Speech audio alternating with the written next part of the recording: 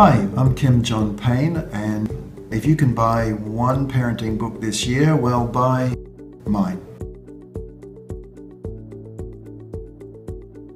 But if you want to buy a second book, then I just highly recommend that you consider supporting one of the books that's about to hit by Patty Wipfler. You know, there are a lot of good resources out there, and there are a lot of um, not so great resources out there for parents, particularly have us feeling that, that, you know, we can't do it without an expert.